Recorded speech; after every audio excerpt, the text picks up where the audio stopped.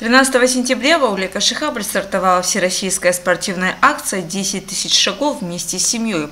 Массовое мероприятие было организовано районным отделением движения первых. Это всероссийский проект «10 тысяч шагов вместе с семьей».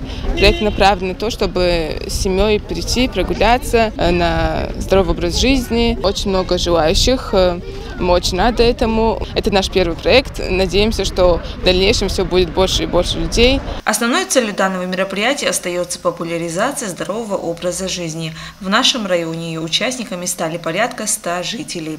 Старт акции был дан на площади у Вечного огня. что вы преодолели эти 10 тысяч шагов.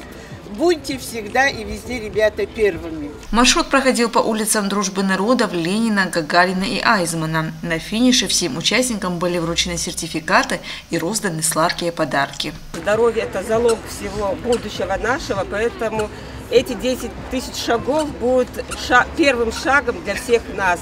Поэтому желаю всем присутствующим крепкого здоровья, долголетия и благополучия всем вам и вашим близким.